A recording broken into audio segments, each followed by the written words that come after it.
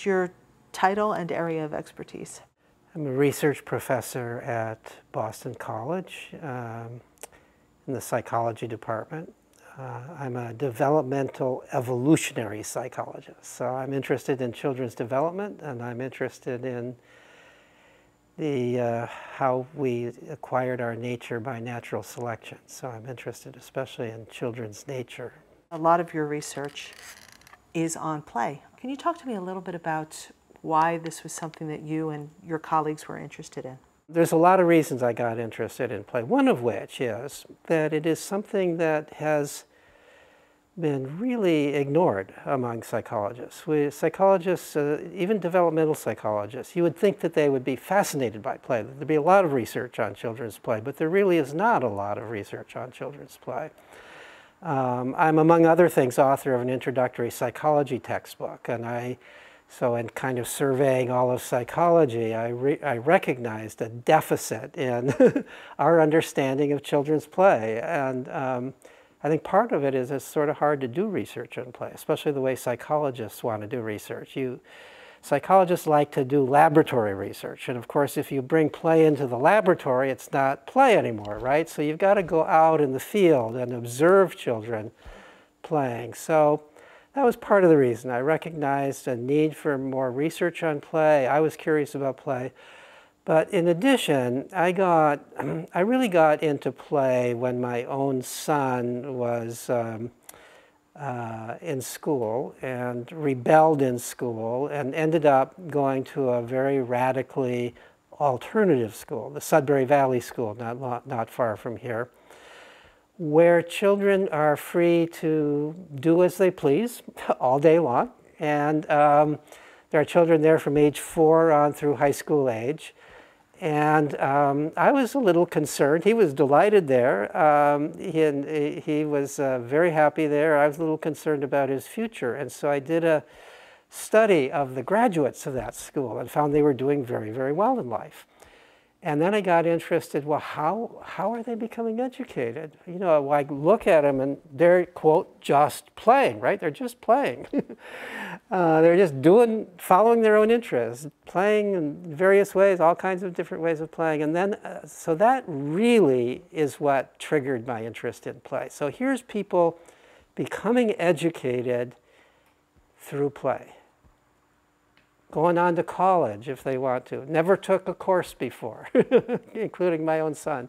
So the um, so that really fascinates. So then I got interested, and then and this school turns out to be a very good setting for studying play because there's at any given time when I was doing the research, there were about 120 students or so. There's more there now. Age four on through high school age, all playing together uh, all doing, following their own interests. Um, and uh, so it was a great setting for observing, uh, observing play, including age mixed play. Some of your research focuses on the idea of letting kids, very little kids, age three and four, right. all the way through the older um, groups, play together. Right. Is that something that you see a lot of these days? Throughout human history, children always played together across ages. In recent times, it's very rare to see children playing across ages. We segregate children by age. We segregate children by age in school. We segregate children by age even out of school, and we put children into different um, activities based on age. Um, children no longer just go running out and playing in the neighborhoods, uh, at least in most neighborhoods they don't anymore, uh, where you just run into kids of all ages and play together. So, but throughout most of human history, essentially all play was age mixed. Um, when we were hunter-gatherers, uh, one of the things I've gotten interested in is play in hunter-gatherer cultures. There, there are anthropologists who've who back in between about 1950 and about 1990 or so was a big time for anthropologists to go out and make contact with hunter-gatherer cultures in various isolated parts of the world. And I did a study a few years ago in which I surveyed anthropologists who had lived in such cultures, and I found that in all of those cultures, the children from age four on through kind of mid teenage years, basically our school age years, are playing all day long and become educated that way. So that fascinated me because it's very similar to what's happening at Sudbury Valley. I became convinced um, that the reason the Sudbury Valley School works is because the children are not segregated by age. They're playing across ages, and the younger children are always learning from the older children. So you, you will see younger children who don't know how to read playing games with older children that involve reading. and in the process, the younger children are learning to read. Or you'll see older children teaching younger children how to keep score. They're adding up scores or even dividing or, you know, so uh, tree climbing, the older children are helping the younger ones climb trees. So the older what children are always scaffolding the younger ones up into higher levels of activity. And I've become convinced, based on those observations, based on my uh, survey of anthropologists, that the natural way for children to learn is by playing in age mixed groups. That children are natural, young children are naturally drawn to older children. They want to be able to do what older children do. And interestingly, older children are also naturally drawn to younger ones. They, they enjoy younger children. They, and I think there's a good, I said I was an evolutionary psychologist, there's a good evolutionary reason for that. Because we're all most of us anyway, throughout history, are going to become parents at some day. And so wouldn't it be natural that you would want to have experience interacting with younger kids, playing with younger kids, helping to take care of them, nurturing them, helping them solve their problems. And so I think especially by the time kids are teenagers, they're really, and boys as well as girls, are really drawn to younger kids. So the older kids are learning from the younger kids. They're learning how to be carers, how to be leaders. They're learning by explaining things to the younger kids, teaching in a sense. In whenever you teach, you learn because you're, you, you are sort of consolidating the information as you explain it. And there's another way that older children gain from interactions with younger ones, and that is that the younger ones are naturally energetic and creative and that keeps the energy level and the creativity level higher in the teenagers. So they are more likely to engage in creative, high energy activity when they're interacting with younger kids than they are if they were just with other teenagers. So, with all of these positives, Peter, why don't parents let it happen and why don't the schools let it happen anymore? First of all, I think, I think that until my research and a couple of other researchers, I think there was never any understanding of the positives. Uh, I think in the past, you know, when I was a kid in the 1950s, I don't think anybody really was greatly concerned about the value of play. They just assumed that's what kids do. you know, you send the kids out of the house and they play and your main interest as a parent is to get them out of the house, right? and that's what parents did. And kids played, and nobody worried about what play is and whether it's doing any good. It, it's like it's like if you're a fish living in water, you don't worry about the water. The water is just there. But if you're a fish out of water, suddenly water becomes something of interest. So I think in the past, throughout most of human history, children just played, and they played in age mixed groups, and nobody gave it much thought. But now we're in a situation where we're depriving children of play, and we're especially depriving them of age mixed play.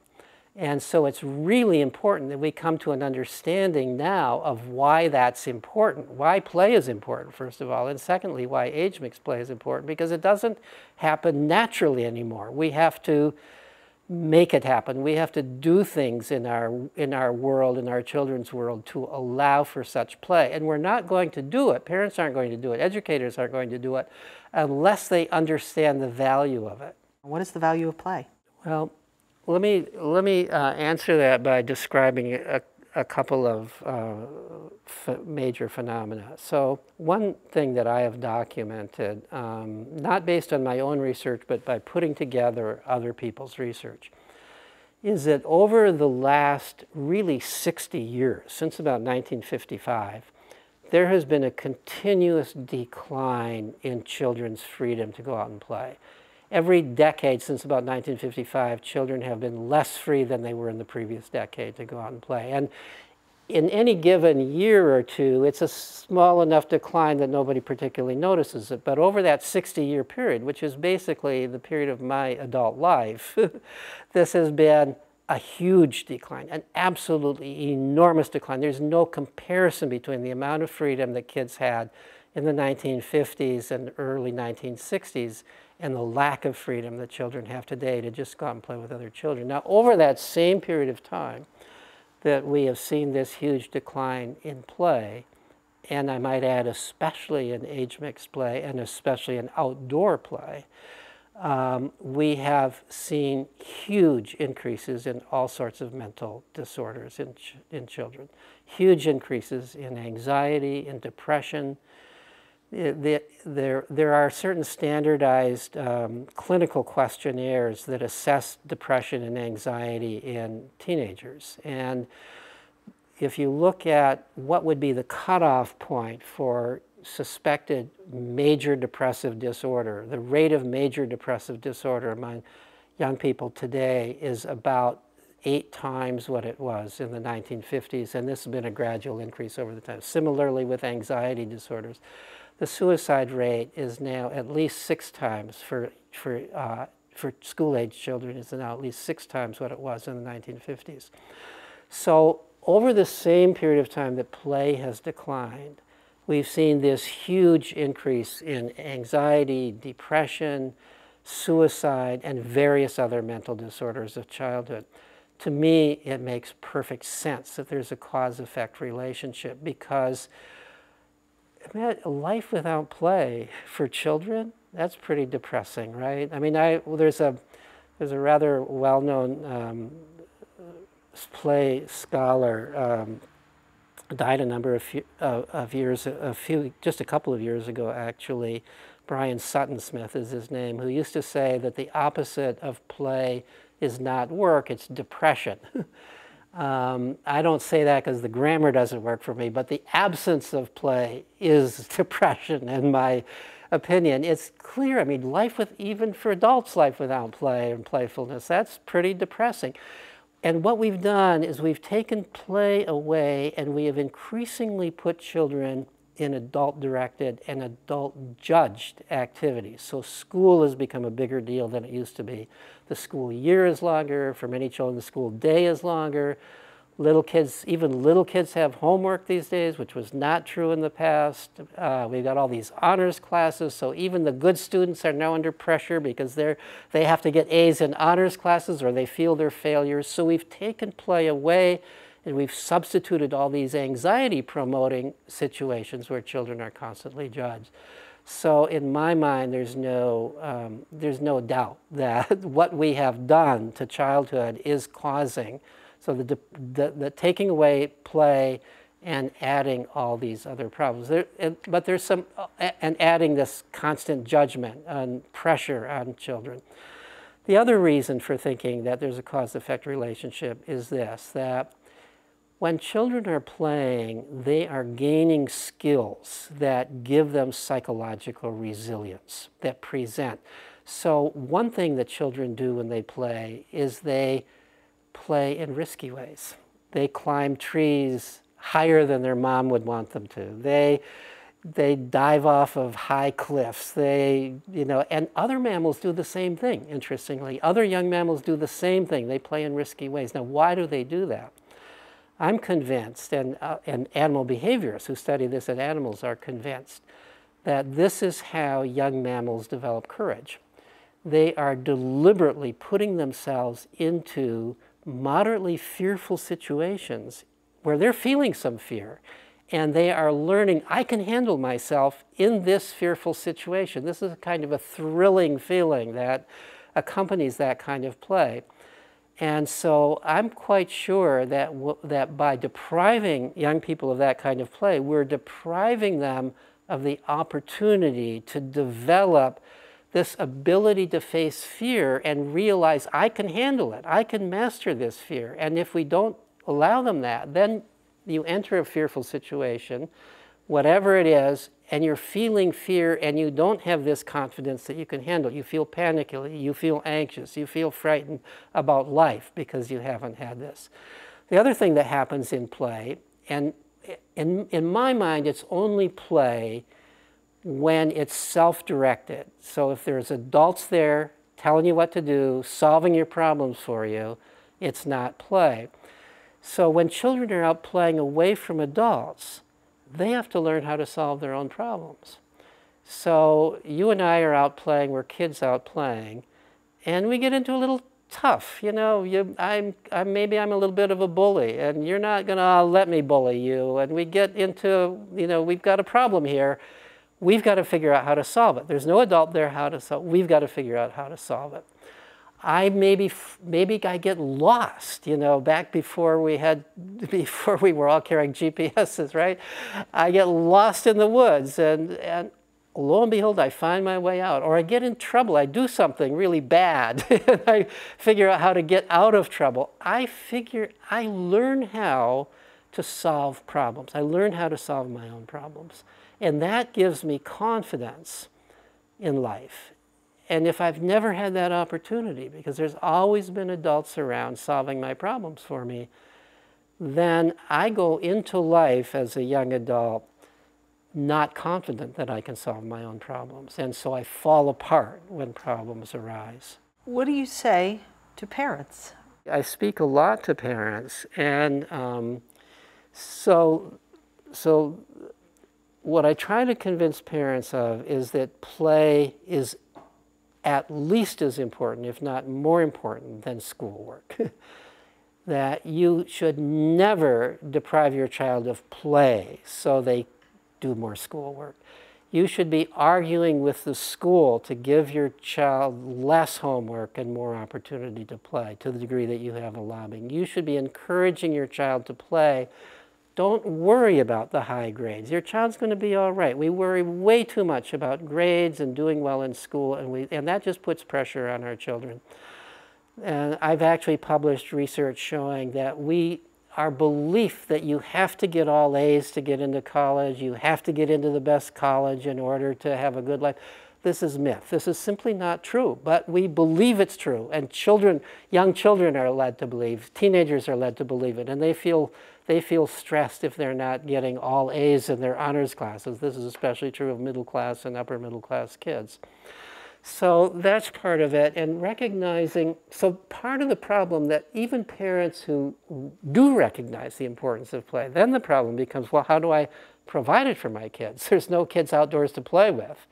So that be, that's where you have to become creative in some way. So maybe you can get together with other parents in the neighborhood, talk about the importance of play, have a little have a little block meeting about so what are, what can we do to get our kids out playing. Um, maybe we can all send them out at the same, you know, just shoo them out of the house like moms used to do on certain afternoons and on Saturdays. And if we're worried, because so many parents are worried about dangers out there, all right, well, let's first of all, let's talk about whether it's realistic that there are dangers out there. The, the truth of the matter is the crime rate is lower than it was years ago when children were out playing. And, and, and we always have overestimated the, the, the so-called stranger danger and that kind of thing. In reality, this is a, this is, these are very, very rare crimes. But if we're worried about those, so let's do something like have one of the parents, let's work out some situation where one of the parents, or maybe there's a grandparent on the block who's home, who can just sit out there and make sure that it's safe enough, but who's not going to intervene, not going to tell the kids what to do, and not going to solve their minor problems and so on. But to be out there to make sure it's safe. There, there are a number of neighborhoods that have done this successfully. Um, so that's one, that's one approach. There are things that whole cities can do. You can, you can, for example, have in the park, have a supervisor in the park who's just there to keep it safe. There's a, um, a renewal recently of so-called adventure playgrounds. So these are playgrounds that they, they're sometimes called junk playgrounds. They used to be called junk playgrounds.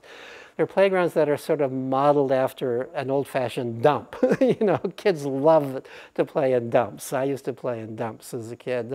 There's old tires, there's bores, there's hammers and tools, and there's trees that you can climb, and there's things you can build. And these adventure playgrounds are fenced in, and you have to stay within that fenced area to play, and there is typically one or two adults there who are play workers. They're trained to be present without being present, to be present in case of any real danger. And in most adventure playgrounds, parents are not allowed. So parents have to stay outside of that fenced in area. And, in, uh, and there's typically a sign saying, please let your, your, chil your children can solve their own problems, please let them do so. And the parents are encouraged to stay away. In Europe, the parents usually go home. In our country, the parents stay there hanging around outside, but trying to sit on their hands and not intervene. So that's a, that, there's a growing number of these. Um, then there are schools, like the school on uh, the, the, whole school district on Long Island, the Patchogue Medford School District, that is that has instituted an hour a week of free play, where all the children, all grades together, are playing freely, making use of the whole school. You know, an hour a week is not enough, but it's a beginning. And so we're seeing, we're seeing things that can be done, that are beginning to be done. But the first thing that happen, has to happen is parents have to want this to happen. If enough parents want this to happen, they can find a way to make it happen. What's an ideal amount of time? I'm tempted to say all the time. so when I look at hunter-gatherer cultures, the children from age four on through mid-teenage years are playing all day long, or at least they're free to play all day long. I mean, sometimes they're resting in the hammock, sometimes they're sitting and gabbing with one another. They're not always actively playing, but they're free to play all the time. True also at the Sudbury Valley School, all day long they're free to play. When I was a kid, uh, I would say that the amount of time that I was playing with other kids was at least equivalent to the amount of time I was in school. So I was, a, if a school day was six, day, six hours long, first of all, when I was in elementary school, we had two hours outdoors. In, of those six hours of elementary school, we had half an hour recess in the morning, half an hour in the afternoon, a full hour at lunch. Now, there are schools that have 15 minutes of recess in the entire day, even for little kids. So we had two hours of outdoor play even during the school day.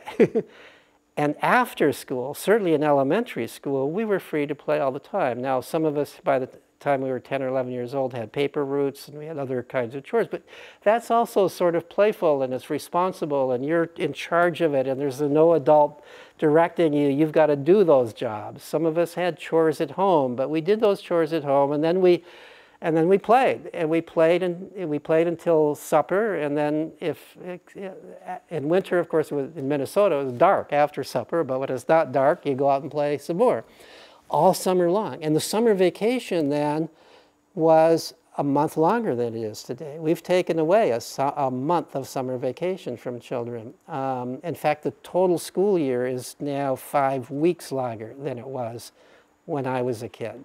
So, and kids were free to play all summer long. You never, you didn't send kids to classes or, you know, camps where there was, uh, that were, that were kind of school-like. Kids were playing freely.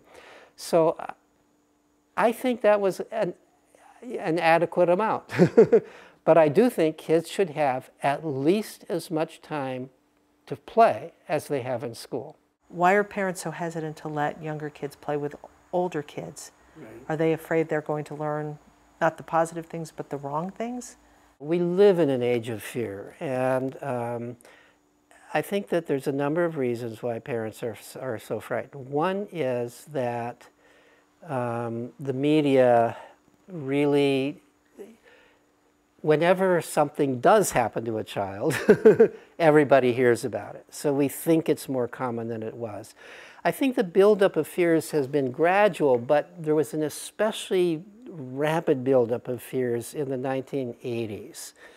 Um, there were, I remember hearing um, public service announcements. Do you know where your child is, right? As if you're a negligent parent if you don't know where your child is. When I was a kid, my parents never knew where I was. They didn't want to know. I didn't want them to know. you know, that was the typical parent, you know. But by the 1980s, that became, according to these public service announcements, essentially negligent parenting if you don't know where your child is at every moment. So that happened, and that happened because there were one or two fairly celebrated cases of children that were um, accosted or maybe even murdered. I forget the details, but there was one, there, there, was one very famous case around that time. Around that same time, you, they also began putting pictures of missing children on milk cartons. So you would be having your breakfast in the milk carton there, and then facing you would be this missing child. Somebody went back and did research and found that most of those missing children were actually runaways. They were not children who had been snatched away, but the belief was, the assumption was that you had as you were looking that these are children snatched away. And so you got this message in your head, oh my God, if I let my child go free, they may be snatched away by some stranger and I'll never see them again. So that fear came about and it was exacerbated in a number of ways by the culture. And then once that fear is in your head and it gets passed on and it becomes part of the culture, so then the very same parents that, grew, that themselves grew up free are now not allowing the same freedom for their own children. And then by, by now, this becomes, you know, there are young parents who grew up constraint, who grew up already in you know, the 1980s and 1990s where they weren't uh, free. And there are people who just assume that children can't be free. Children are not capable of being free. It's too dangerous out there. Children can't govern themselves, and so on and so forth. So that's a big part of it. Another, there are other explanations too, however. One is the increased weight of school and the increased emphasis on school and adult-directed activities. Again, this is fear motivated. We are afraid, we're afraid our children are going to get snatched away by strangers. We are also afraid our children are not going to be able to make a living when they become adults. we're afraid for their future, and we have become convinced that therefore the, the route to their future is to spend their childhood building a resume, right? So they've got to do well in school, they've got to do all these adult directed things, if they're going to, they can't just go out and play. That doesn't go on a resume. But if you play Little League Baseball or organized soccer, maybe you'll make the high school team. Maybe you'll even get a college scholarship. So parents push their children in those directions rather than just let them go out and play. And they, they also believe it's safer because there's an adult there. The truth of the matter is it's not safer. There are, there's actually research showing that even per hour of activity, you are far more likely to get hurt in an adult-directed sport than just playing on your own. uh, so that, so, but the belief is that it's safer. So, so that's happened. In addition, we've seen sort of a decline in neighborhoods. People don't know their neighbors anymore. There's a variety of reasons for that.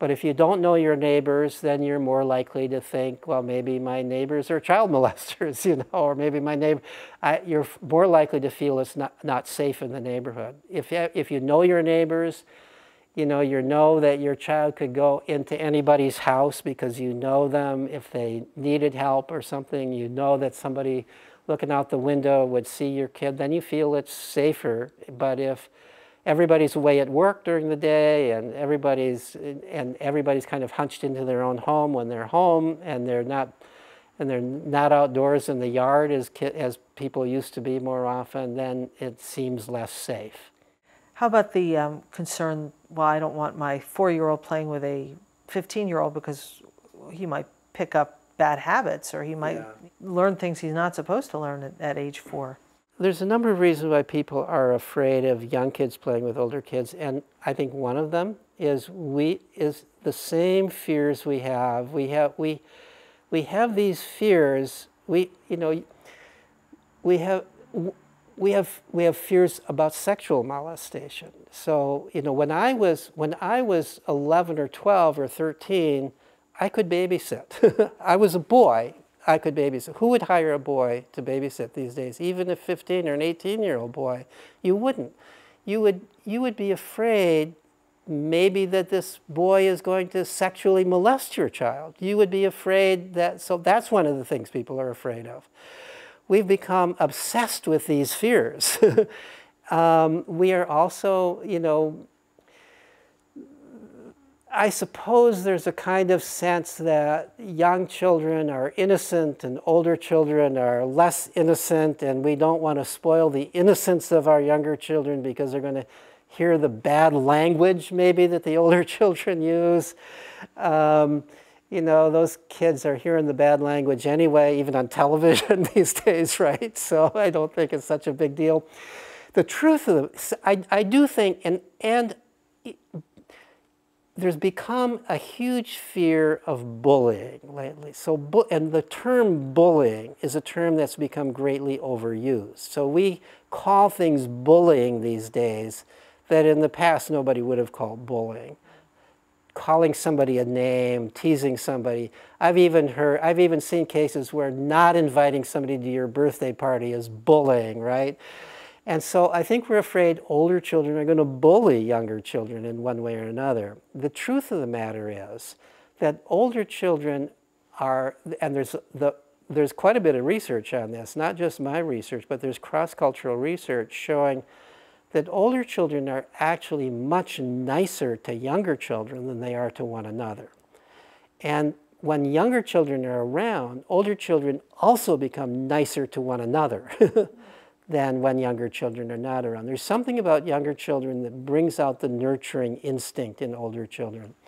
There's actually one example of such a study. This was done in Kenya many years ago by um, some anthropologists who they were looking at children, at boys between the age of 8 and about 14, and looking at the amount of their aggressive behavior and also their kind pro-social behavior in the community.